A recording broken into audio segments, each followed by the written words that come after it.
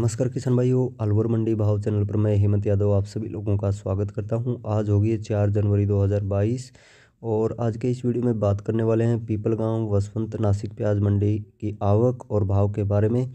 क्या तेज़ी के साथ बाज़ार खुला है, सभी जानकारी होने वाली है तो वीडियो को अंत तक ज़रूर देखिएगा। तो अगर बात करें लाल प्याज की आवक की तो 20 से इक्कीस हज़ार कट्टे देखने को मिल रहे हैं पीपल गाँव वसवंत मंडी में।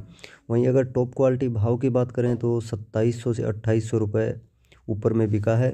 और एवरेज प्याज की बात करें तो एवरेज प्याज है पंद्रह सौ रुपये से लेकर इक्कीस सौ रुपये प्रति क्विंटल के हिसाब से देखने को मिला है। वहीं हल्का जो प्याज है वो पाँच सौ रुपये से लेकर सात सौ रुपये प्रति क्विंटल के हिसाब से देखने को मिला है। बात करें अगर उनाली प्याज की तो उनाली प्याज टॉप क्वालिटी का जो ऊपर में बिका है वो पच्चीस सौ रुपये बिका है। और एवरेज प्याज है वो पंद्रह सौ रुपये से लेकर उन्नीस सौ रुपये बिका है। उनाली प्याज पिपलगांव वसवंत मंडी में।